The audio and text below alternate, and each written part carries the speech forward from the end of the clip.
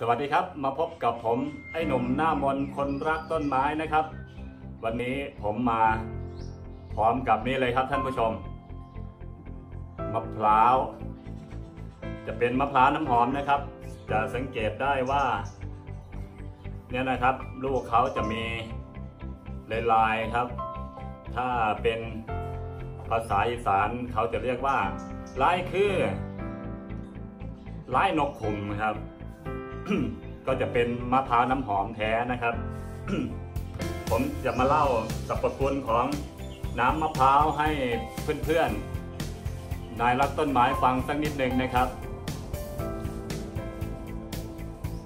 ก็ครับ น้ำมะพร้าวก็จะช่วยดับร้อนได้นะครับ เป็นเกลือแร่จากธรรมชาติครับ เพิ่มน้ำในคนที่มีภาวะขาดน้ำนะครับ เช่นนักกีฬาเนี่ยครับก็จะเป็นเกลือแร่ได้อย่างดีครับ ช่วยให้กระเพาะปัสสาวะเนี่ยทำงานได้ดีขึ้นนะครับเพื่อนๆ แล้วก็ยังช่วยในเรื่องของบำรุงผิวพรรณครับ ลดริ้วรอยได้ด้วยครับ บำรุงกระดูกครับ ปรับฮอร์โมน ในร่างกายของผู้หญิงวัยหมดประจำเดือนด้วยนะครับ นี่คือประโยชน์ของน้ำมะพร้าวครับ เป็นไขมันอิ่มตัวที่ดีกว่าไขมันอิ่มตัวชนิดอื่นครับ ช่วยรักษาอัลไซเมอร์ได้ด้วยนะครับสำหรับคนที่เป็นโรคหลงลืมนะครับ เราป้องกันได้ด้วยในการดื่มน้ำมะพร้าวนะครับ นอกจาก จะเป็นสมุนไพรดีๆนะครับ ก็มีตัวยาหลายอื่นนะหลายตัวนะครับที่สำหรับโรคหลงลืมครับ ไม่ว่าจะเป็นกาแฟหรือว่าเป็นยาสมุนไพรของพี่โจฮักนสารคามนะครับ จะเรียกว่าต้น อะไรนะต้องไปดูอีกครั้งหนึ่งครับ เดี๋ยวผมจะหามาฝาก เพื่อนๆนะครับ ตัวนั้นก็จะแก้โรคอัลไซเมอร์ได้ดี แต่ในน้ำมะพร้าวเรานี่ก็มีครับ อันดับแรกเรามาทำการเฉาะเลยนะครับท่านผู้ชม มาเฉาะกันให้เห็นๆครับเดี๋ยวผมจะขยับ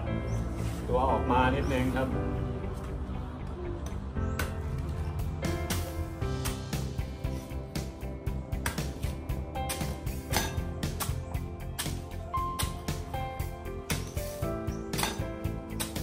นายรักต้นไม้ก็เป็นคนหนึ่งครับที่ชอบดื่มน้ำมะพร้าวครับเพื่อนๆ มาบ้านที่บุรีรัมย์นี่ก็จะเอากลับไปกรุงเทพเป็นทลายแหละครับ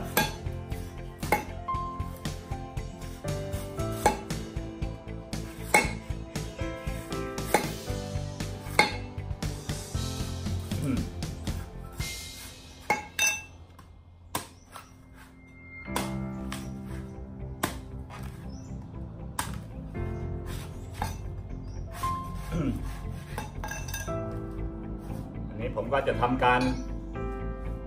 เฉาะนะครับ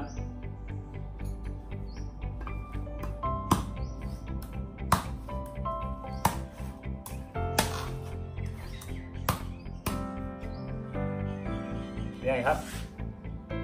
อันนี้ผมจะไปให้ ผมจะชิมก่อนนะครับ แล้วก็จะเอาไปให้ ม่ผมทานครับ ได้คนละลูกแล้วนะครับ มาดื่มน้ำมะพร้าวกันนะครับ เพื่อสุขภาพของ